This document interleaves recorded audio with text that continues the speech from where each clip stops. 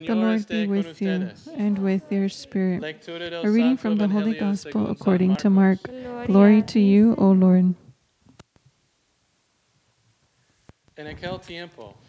Jesus said to his disciples, Is a lamp brought in to be placed under a bushel basket or under a bed, and not to be placed on a lampstand? For there is nothing hidden except to be made visible. Nothing is secret except to come to light. Anyone who has ears to hear ought to hear. He also told them, Take care what you hear.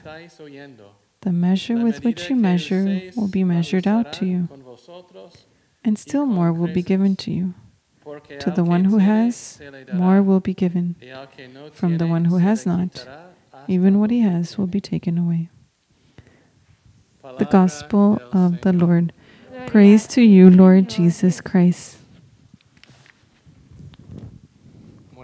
Good afternoon, everyone. Jesus is the light of the world. The Word made flesh, light for our path in all circumstances. And today we celebrate the life of a saint full of light, Saint Thomas Aquinas, that the majority of us know for know him for his works, especially his Summa Theologia or Summa against the Gentiles, maybe his commentaries in the Gospel of Saint Matthew, Saint John, all the letters of Saint Paul, so many homilies, and the church. gave him the title Doctor, Angelic Doctor, the Angelic Doctor, because he had an intellect like the angels that is full of the light of God. Almost, he almost, it almost seemed like if he received an infused intelligence from God Himself. But from where did this light come? How did he receive this illumination and the virtues that ac accompany this illumination and holiness? The year 1260 for Pope Urban, that had many problems in the church, in the universal church, especially a great crisis about the faith in the Eucharist. He wanted to institute a universal feast, solemnity of corpus and blood of Christ, that is the beginning of the festivity of Corpus Christi, which we celebrate up to now. And he wanted a procession to mark this great event. It would be the first time that the Pope organized a procession with the Eucharist in public. And he wanted the people of God to understand who would receive in the streets of Rome. He wanted someone who could write some, some hymns, procession hymns of Dominican friar, shared with the Pope that he knew another friar, a brother, who loved the Eucharist so much that they would almost spend nights, that he would spend nights and days in the presence of the Blessed Sacrament. In a time where they didn't practice exposition of the Blessed Sacrament, this saint spent day and night in the presence of the Blessed Sacrament until some nights this brother found the other brother with his head next to the tabernacle. And he was called Thomas, Thomas Aquinas. When the Pope received news of the holiness of this Dominican friar, he wanted him to write some hymns. We know very well the hymns Pange tantum ergo, Adoro te devote. We continue singing those. The same words that he wrote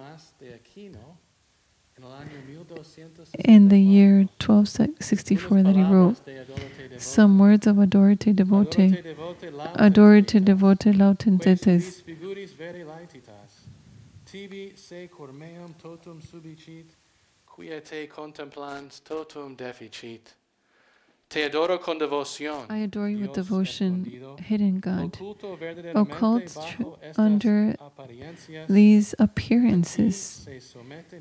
My heart submits myself to you completely, and it rends itself to contemplate you. Pie pelicane, Jesu Domine, me immundum munda tuo sanguine, cuius una stilla salvum facere, totum mundum quid ab omni scelere.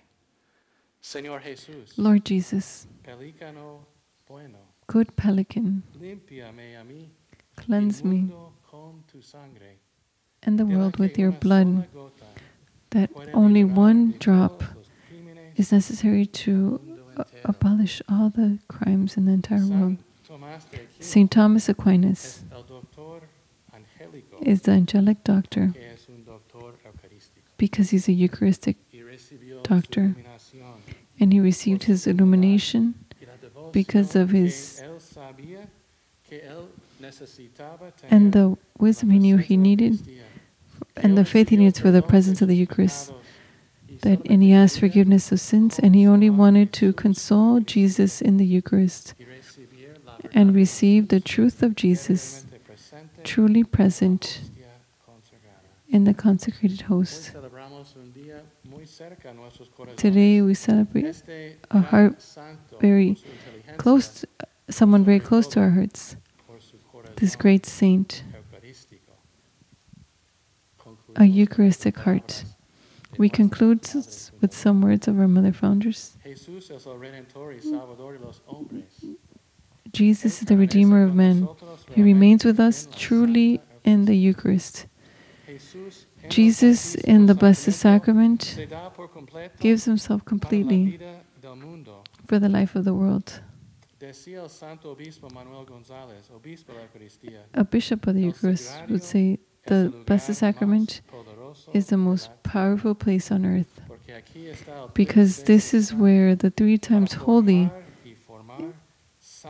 to form, educate saints, and the cooperation of His grace and holiness, like Saint John, Saint Thomas Aquinas, all for the heart of Jesus through the heart of Mary.